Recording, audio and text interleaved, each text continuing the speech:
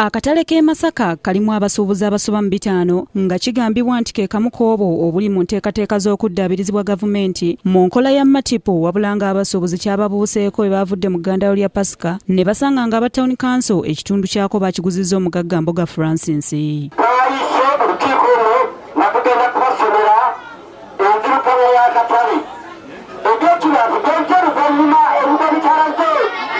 kino kinyiizizza abasuubuzi. Obusungu ne babumalira ku bakungu ba masaka munisipaali n'abakulembeze b'abasuubuzi ababadde bazze mu lukiiko lwa buli mwaka okubasomera alipoota. Ne babagaana okubaako kye boogera okutuusa nga bamaze okubawa ensonga ey'omuzinzi eyabatundisa ekitundu ky'akatale ebyo mugamba abantu ababbi b'ettaka bulijjo babizza emabega oluvannyuma mmeeya w'e masaka godfrey kayemba yakakasizza abasuubuzi nga poloti eno bwe yatundibwa nannyiniyo ng'alina n'ekyapa nga nabo baagezaako okumwegayirira aleme kugitunda ne balemererwa wabula nga kino akitadde ku kibba ttaka ekiri e masaka. Okuva wali ku sese street paka jesabayi lyali ku kyapa kyaffe ekyapa kyaffe kya masika municipal council.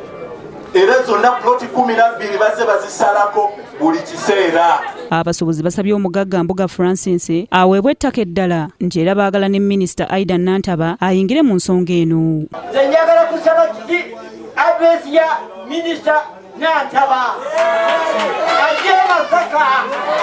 Nsaba omwami oyo awe- aweebwe ssente agende agula awantu awalala omugagga mbuga agaaniddde okukulaakulanya ettaka lino okutuusa ng'ensonga zigonjoddwa.